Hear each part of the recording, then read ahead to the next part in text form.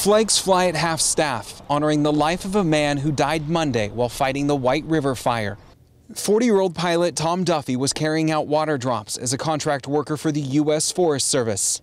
Wildland firefighting is more than just a career, it's more than just a job, it's a calling. And so it means a lot to us to be able to come here and show our gratitude and show our respect for one of our own that gave his life in service of others. As a line of cars made their way down Hood River streets, first responders from multiple agencies stood on the tarmac of a Hood River airport.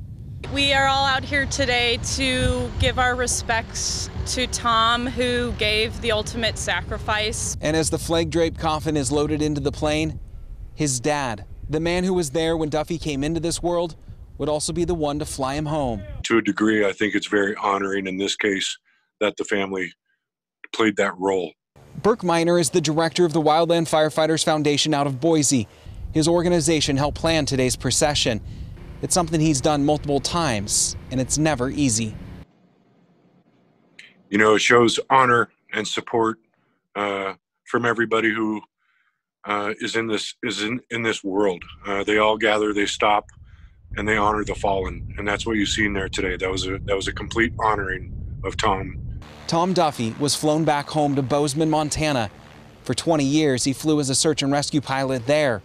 The father, husband, and business owner is remembered as a big man with a big heart who brought calm to every mission.